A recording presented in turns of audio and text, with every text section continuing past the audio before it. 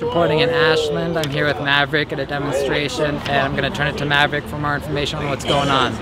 This is from October to January in just the last couple of months. These are all the 72 and 24 hour notices that I've been given to move spots. Mm. Yeah, I'm on Section 8, I'm on HUD, I'm on low income housing, I'm on shelter lists, but they will not take all three of my kids with their age range, or not at all.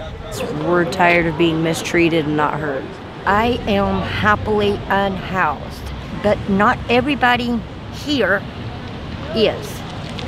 Okay, a lot of them want to be indoors. Having lived in Eugene and seen the services they had there, I would like to see more of that. Here, they're so far out that I can't get to them. They're criminalizing us for sleeping when the Ninth District says that it needs to be for actual criminal behavior. The unhoused has the right to peaceably camp. They um, do amalgam of tickets. There's an exclusion zone down here.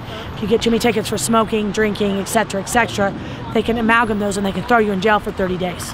So if they can force homeless out anywhere, it's not give us shelters, not give us a place to be. Well, you can't smoke here, you can't do this, so you can't go anywhere. Just go somewhere else. Just do this. Just go away. We will get told a million times out of sight, out of mind, out of sight, out of mind. If you're out of sight, we won't harass you. They'll still find me and they'll still follow me and they'll still write me a ticket and trespass me from another area, even though there's no other spot for me to go.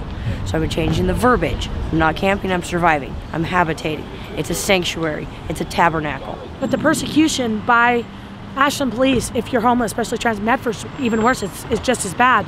Same thing, they go up and down the Greenway and they'll do a sweep and take down everyone's tent and kick everyone out. And there's people still living in, down on the Greenway from the Almeda fires in tents, and that's the reality. So yesterday we stood out with signs and got support and honks, and then it turned into a peaceful protest. We've been here overnight. We've not had any notices yet. So we'll see how much comes of it, because this is just the first day of it. And then we'll wait until we get a notice, and we'll move to the next spot and keep going from there. It takes months for a shelter to even be opened, and all of them are only a couple of days during the worst weather. Maverick handed me a flyer for an emergency shelter opening that evening, so I headed over there to see if I could speak to somebody looking for shelter. Tonight's the first night they're opening, so I don't know what I'm getting into. In Medford, according to the national, they go by the National Weather Service on whether they open or not, and it has to be 32 degrees or colder and high winds or below 25 or snow. Tomorrow morning at 7 a.m. it's going to be 31 degrees and they're not going to open tonight. But they're supposed to open tomorrow and Monday because tomorrow night is supposed to be 19 degrees. Everybody knows that Ashland is 8 to 10 de degrees colder than Medford on any given day. I got a couple tokens and I rode the bus. So I'm tired of being cold and we're going to see what they have to offer. So, I mean, I don't care about sleeping on the floor. Mm-hmm. You know, I sleep in my car. What's the difference? The homeless need a board member. They need a liaison. They need someone that can facilitate between housed and unhoused. Administrators are not unhoused. They get the funds, they distribute the funds. They have no idea what sleeping out in 28 degree weather requires. Habitation zones. We're trying to change it from sur- camping to surviving to habitation give us the resources. Let us have a kitchen. Let us make a program where we actually feed ourselves. The biggest thing that I wish there was more of is understanding.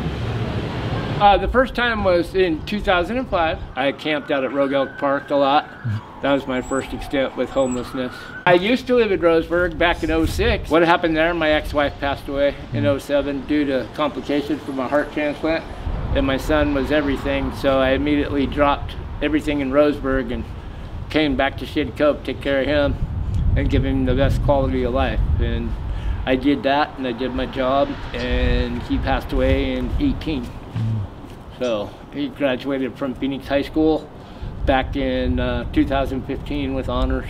He went to college for a year and a half online, and then his health started diminishing, so he took a break, and then it just kept going down from there, you know. So he, he didn't get the $2,000 scholarship. He got the 500 because he couldn't go out and do all the legwork in the wintertime. You know, it's this time of year, you know, November or whatever, but he couldn't go out and uh, go get all the proceeds to get uh, signatures and stuff like that. The kid to beat him out for the two grand was obviously not in a wheelchair or confined to a wheelchair, so he beat him out for that. But yeah, I hope this place is more comfortable for you, man. We're thank, gonna thank find you for out. sharing with me.